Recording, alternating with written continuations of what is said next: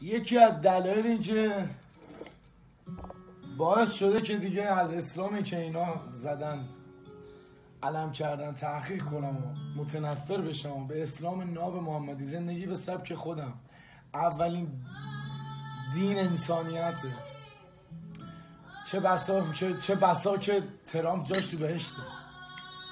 والله چه بسا که ترامپ جاش تو بهشت صلحو داره تو جهان okay می‌کنه. کره شمالی ببین. از اون سرکشتر که دیگه نداشتی. okay هم با. ترامپ میگه من فقط به خاطر مردم یک کشور. ایالات متحده آمریکا آمریکا میگه به خاطر مردم کشور. به خاطر مردم کشور یه رژیم نمی‌تونه با مردم یک کشور بد کنه. چه بسا ترامپ جاش تو بهشته اونایی که میگن مرگ به آمریکا همشون از دم کسافت خواهی دارن. مرگ بر جد آباد اونی که